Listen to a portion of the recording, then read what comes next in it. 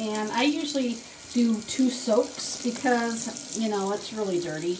And um, I usually let it set for an hour, but I usually let it set for about an hour. And uh, but this is what I use, Unicorn Power Scour. It is like the best and it makes a well, the fleece smells so beautiful. The fleece smells so beautiful. So, and I'm uh, just doing this second wash. I put only a couple, I put uh, one tablespoon in and this is what I use and it's absolutely the most amazing thing ever. So that's what I use. I'm going to do a second wash right now. And the reason that I like using this is because Dawn dish soap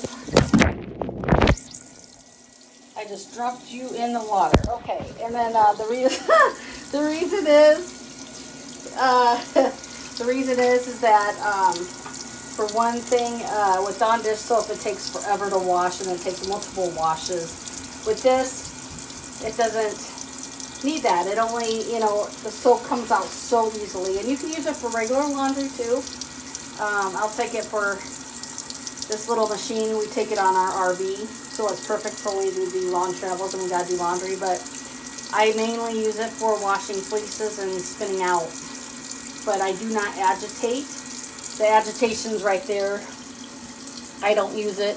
I just strain it and then spin it because I don't want to felt it.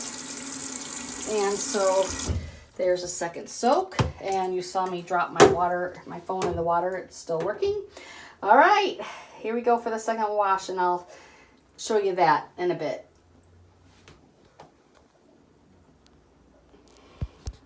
Okay, just wanted to show you the first wash of the fleece and how dirty it is. And look at how this dirt is. Um, I'm just doing a demo of the Power Unicorn soap because it only takes a couple tablespoons and I wash over a pound at a time. And so it's pretty dirty and this is just the first wash. I'll do a video of the second wash. So I have my second soak of wool and I'm going to drain it, to show you the waters and, and how well this uh, Unicorn Power Washer does. So this is the second soak, and of course the water is way, it's still dirty, but it's half the dirt of what it was the first time around.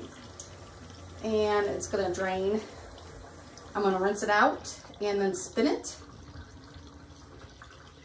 And the water's already coming out clear, so we're just going to do some rinsing and then I'm going to spin it and then let it dry. So this is natural. I'm not dyeing it at all. And there you go.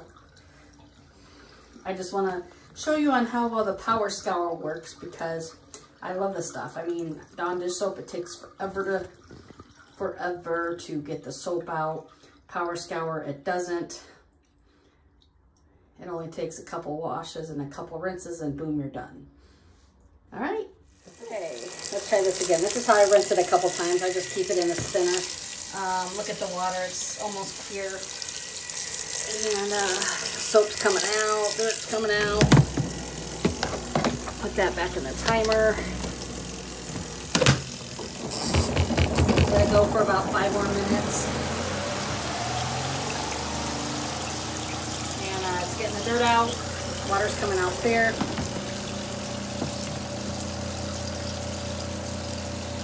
Clearer, I should say. It takes about two, two, takes about uh, two rinses before it comes completely clear, but it does come out clear.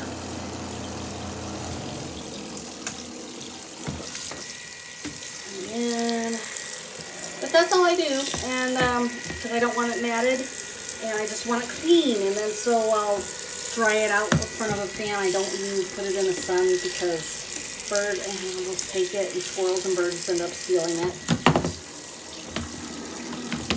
I just put it in front of a fan and let it go.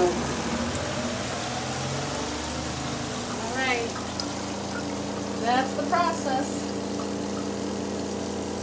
Okay, so it's been spinning for about a couple minutes